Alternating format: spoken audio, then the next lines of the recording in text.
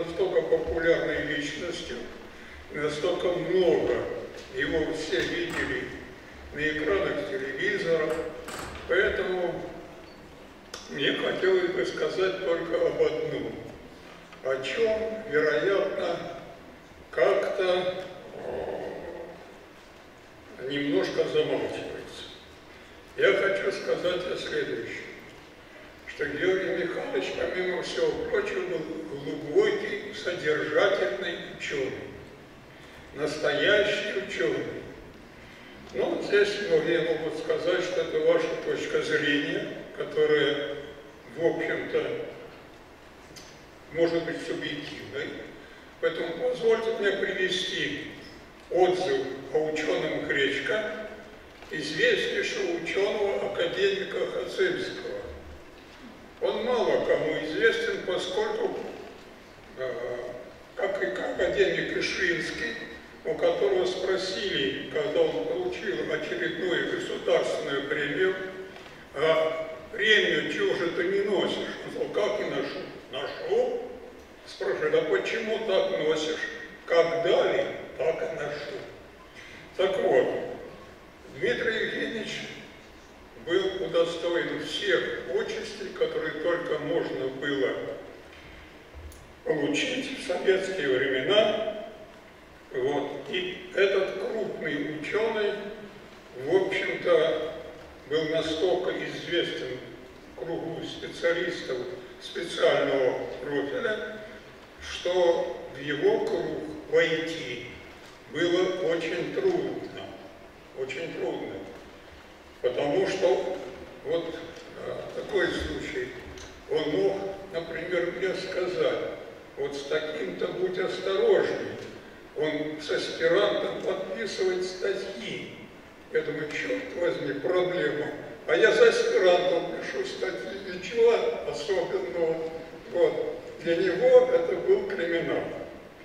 Так вот, Дмитрий Евгеньевич, я процитирую слова Ахацинского о ученом, как речка сейчас то, что без литературной обработки записано так, как было произнесено. Дмитрий Евгеньевич сказал следующее. Гречка – это баллистик. Это был наш собрат по крови. Дальше. Он летал трижды в космос и больше не летал по определенным обстоятельствам. Обстоятельства пускаем за скобки. Обсуждать здесь об этих обстоятельствах нет смысла говорить. Далее. Значит, он здорово летал. Он огромное количество научных экспериментов провел. Он был ученый все-таки по своей сути и привез гораздо больше результатов, чем привезли военные офицеры, которые были люди мужественные, но не ученые по натуре. Гречка привез очень много полезного. Вот это высшая оценка э, Гречка как ученого. Я со своей стороны в процессе, так сказать, работы с Юрием Михайловичем, а это немало ни много, не один десяток лет, могу сказать, что он обладал какой-то удивительной памятью и удивительным научным чутьем, чутьем на оригинальные разработки. Поэтому, когда вот здесь, в Иенмехе, был создан первый 3D-сенсор, который сегодня во всем мире, так сказать, используется для очисления машин, а у нас он был здесь впервые создан, Иенмехе. Первым появился в лаборатории Юрий Михайлович Гречко. И первым дотошно выспрашивал, что к чему.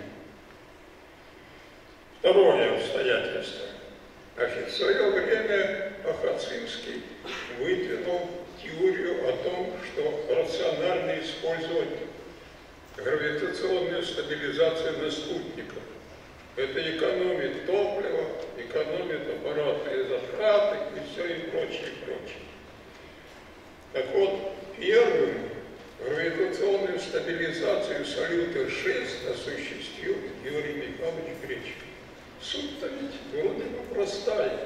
Если спутник имеет цилиндрическую форму, то, естественно, гравитационные силы должны разворачивать его в направлении земной вертикали. Значит, он сделал это, и с этого момента станции используют гравитационную стабилизацию. Третье. Юрий Михайлович, вот Александр Самонович рассказал о его идее исследования верхних слоев атмосферы Земли. Но ведь он первым среди 30, после 30 летавших до него космонавтов обратил внимание на мерцание звезд в атмосфере.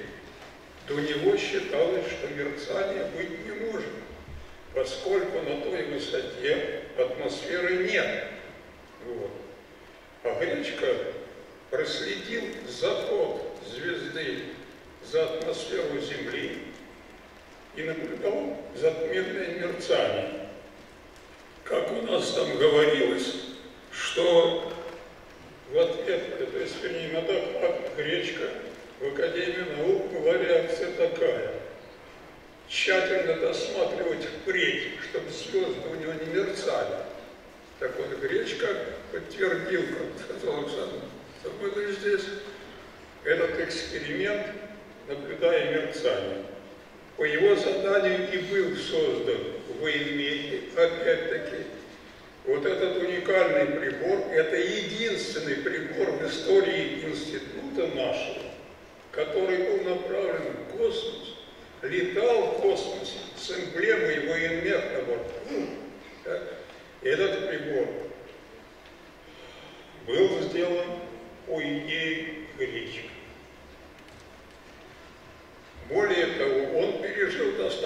сложную судьбу, когда он был установлен на новый спектр, был пробит прибор, возник вопрос о его работоспособности и целесообразности перемещения в обитаемый отсек, он позвонил мне и сказал, ты главный, вот придавать, принимай решение, есть ли смысл переносить его в обитаемый отсек. Вот. Но ты мне дай информацию, либо достоверную, либо официальную. Вот. Значит, я тут впервые от главного и заказчика услышал два понятия. Значит, понятие достоверной информации и официальной информации. Я ему дал официальную информацию о том, что прибор можно тащить, и вот тогда он принял решение о перетаскивании прибора из пробитого отсека желтой, и эту операцию осуществили. Эту операцию полностью лежит на его совести. И последнее, что я хочу сказать, в эту копилку его, ну, такой научной ненасытности, я бы сказал, что как он позвонил и говорил, что американцы обнаружили на Синае какие-то там космические, в общем-то, остатки. Значит, я поеду туда и посмотрю. Я ну что ты поедешь? Наверняка газетная будка. Так нет, он все-таки поехал. Поехал в Израиль, нанял такси, вот, поехал, так сказать, на Синай, вот определенные отметки его довезли, а дальше сказали, что дальше не повезем, потому что могут быть минные поля. Тогда он пошел пешком наверх. Ну и, конечно, ничего там не обнаружил. Значит, удостоверился лишний раз, что это определил Дмитрий Евгеньевич как талантливого, самобытного, крупного, настоящего ученого. И это было не только мнение Дмитрия Евгеньевича. Это же говорил мне и Раушенбах о нем, как мы сидели так, что